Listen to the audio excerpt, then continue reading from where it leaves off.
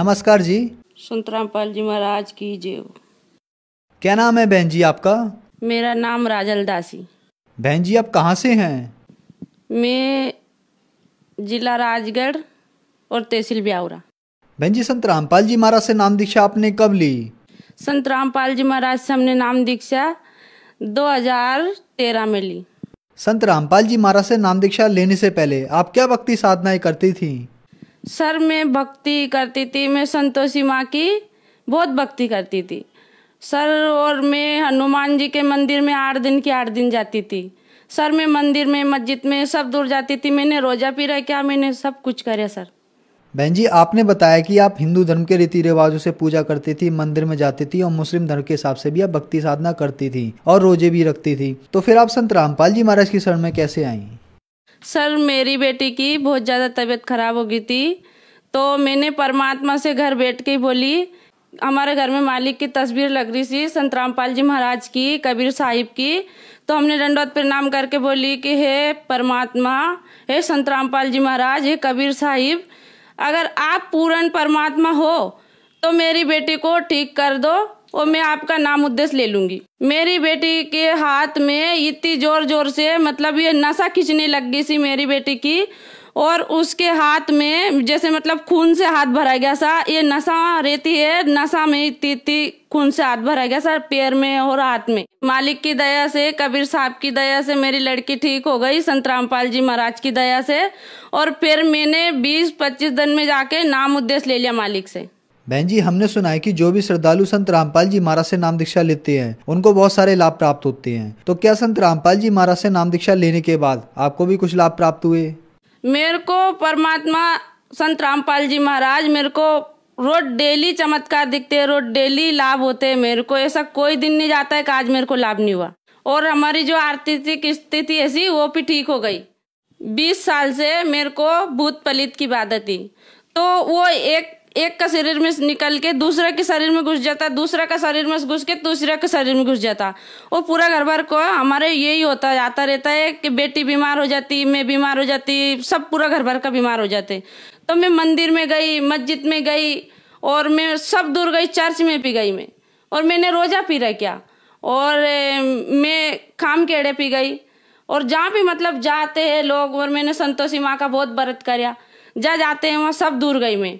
जा जहाँ भी मेरे से बन पड़ी जही गई लेकिन कैसे ठीक नहीं हुई।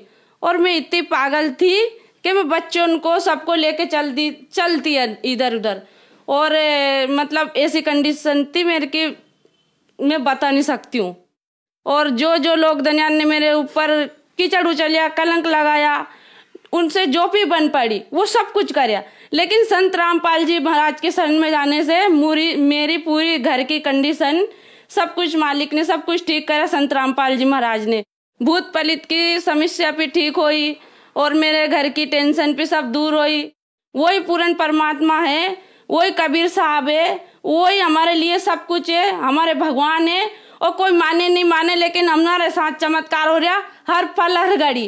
तो ये चमत्कार को हम तो मानते हैं। और ज़्यादा कर्जा कर लिया था मेरे बेटे ने, संत रामपाल जी महाराज की दया से। कर्जा पूरा पट गया, सब कुछ ठीक हो गया। और मेरे बेटे की लोग बाग बोलते थे कि इसके बच्चे तो कुआरा ही रह गए। कुआरा ही रह गए लोग तो ऐसे ही रह गए। और संत रामपाल जी महाराज की दया से हमने मालिक से बोली कि परमात्मा, ये लोग कैसे बोल रहे हैं हमसे? तो संत रामपाल जी महाराज की दया से हमारे बेटे की रमणी भी हुई, सब कुछ होया।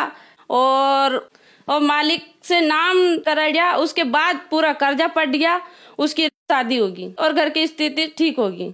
और मेरी लड़की जो वो पढ़ाई करना चाहती थी, वही संत रामपाल जी महाराज ने मेरी लड़की जो पढ़ाई करती थी, वो मालिक ने फ्री में सब कुछ करवाया, जो सब्जेक्ट लेना चाहती थी, वही सब्जेक्ट मालिक संत रामपाल जी महाराज की दया से उसको फ्री में मिल गया बिगड़ पैसे से उसके एडमिशन हुआ।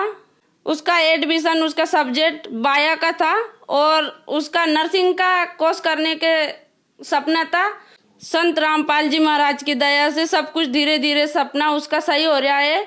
और जो मैं देखती हूँ, वही होता है। अगर बुरी बातें होती है तो मैं मालिक से प्रार्थना करती हूँ कि, मालिक, ये बुरा है ना? हमारा कर्म जो है मतलब ये पता नहीं कहाँ कहाँ के कतरा जन्म का कर्म है।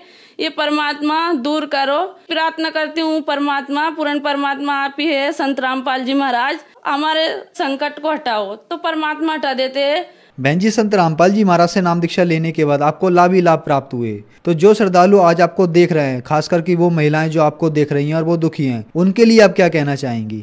मैं उनके लिए ये कहना चाहूँ संत रामपाल जी महाराज के चरणों में आओ उनसे नाम उद्देश्य लो और अपना कल्याण करवाओ। बहन जी संत रामपाल जी महाराज से नाम उपदेश कैसे ले सकते हैं? संत रामपाल जी महाराज का रोड डेली चैनल पे सत्संग आता है। उन संत रामपाल जी महाराज का तो पीली पट्टी पे उनके वो चलते हैं नंबर उन नंबर से फ़ोन करो और संत रामपाल जी महाराज से नाम उद्देश्य लो।